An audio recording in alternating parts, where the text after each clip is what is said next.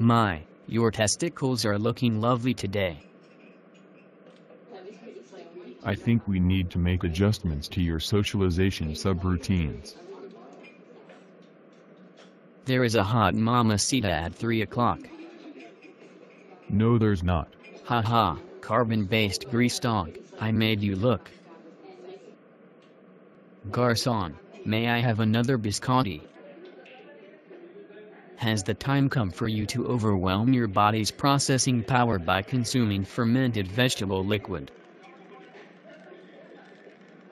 Pretty much, I guess. I shall never understand you carbon-based grease dogs. Well perhaps it is due to a lack in your own processing power.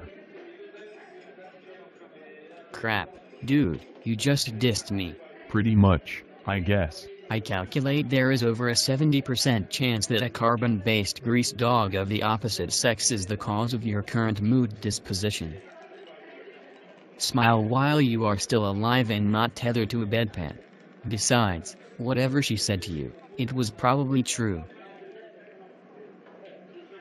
You think so? It seems nearly certain.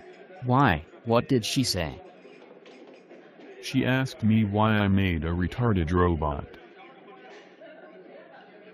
That lying trollop is clearly delirious and demented.